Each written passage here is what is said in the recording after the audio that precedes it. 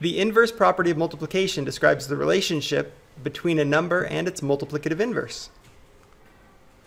Take note, property, the inverse property of multiplication. In words, we can state, for every non-zero real number a, there is a multiplicative inverse, 1 over a, such that a times 1 over a equals 1. For example, the multiplicative inverse of negative 4 is negative 1 fourth. That's because negative 4 times negative 1 fourth equals 1.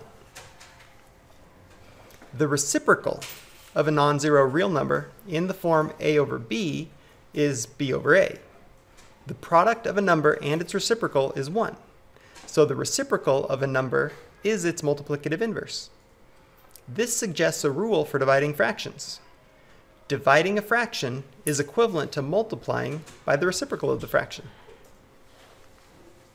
Problem 4. Dividing fractions. This one's multiple choice. What is the value of x over y when x is negative 3 fourths and y is negative 2 thirds? Consider what you'd think on the left and what you might write on the right. First think, rewrite the expression. And then we rewrite the expression. x over y, a fraction bar, can be represented by a division sign.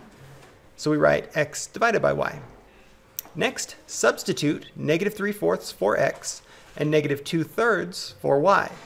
And then do that, writing negative 3 fourths divided by, and then parentheses are a good idea here so we don't get our signs mixed up, negative 2 thirds. We'll multiply by the reciprocal of negative 2 thirds, that's 3 fourths, times negative 3 halves, and simplify. Since both factors are negative, the product is positive, and that's 9 eighths. So, back to our answer choices, the correct answer is D.